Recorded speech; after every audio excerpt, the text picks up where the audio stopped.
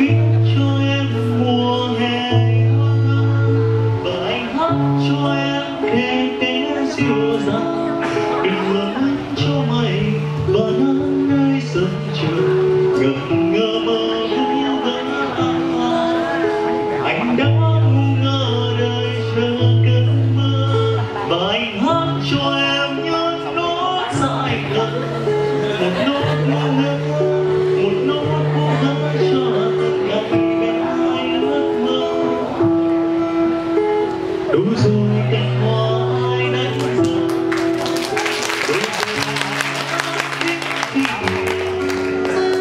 giờ đã xa xôi người yêu anh trên phố xa đây.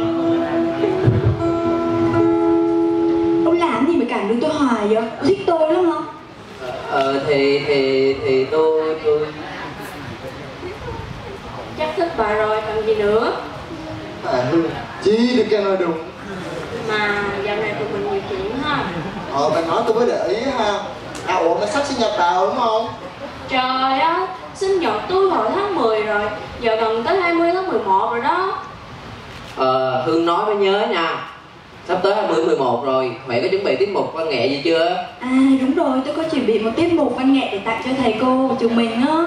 À, mấy bạn ơi, cùng tập văn nghệ với Huệ nha